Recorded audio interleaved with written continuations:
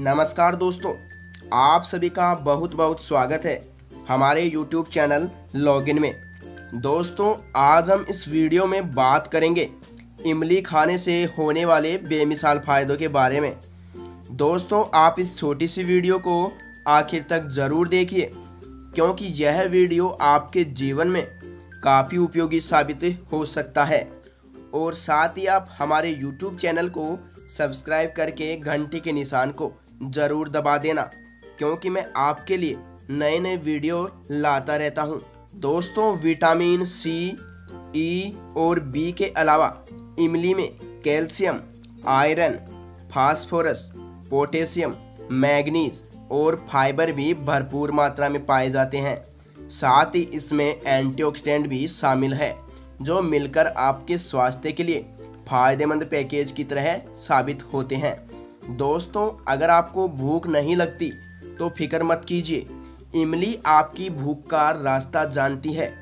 एक कटोरी पानी में गुड़, इमली का गुद्दा, दालचीनी और इलायची मिलाकर थोड़ा थोड़ा चूसने से आपकी भूख खुल जाएगी और आप अच्छे से भोजन कर पाएँगे।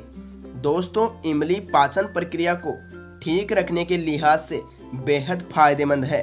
इसमें फाइबर भरपूर मात्रा में पाया जाता है, जो पाचन में मदद करता है।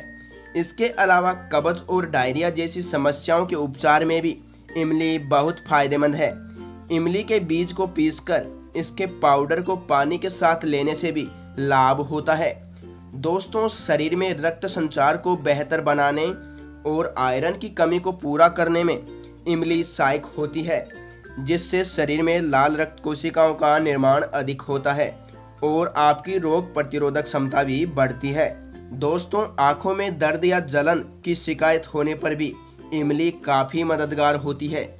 ऐसा होने पर इमली के रस में दूध मिलाकर आँखों के बाहर लगाने से आराम मिलता है। आँखों में खुजली होने पर भी इमली असरदारक होती है। दोस्तों, इमली में विटामिन बी कॉम्प्लेक्स भी भरपूर मात्रा में होता है। जो मांसपेशियों के विकास के लिए फ़ायदेमंद साबित होता है।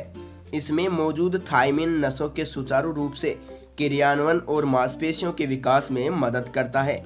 दोस्तों, आपको ये जानकारी कैसी लगी, मुझे कमेंट करके ज़रूर बताएँ। धन्यवाद फ्रेंड्स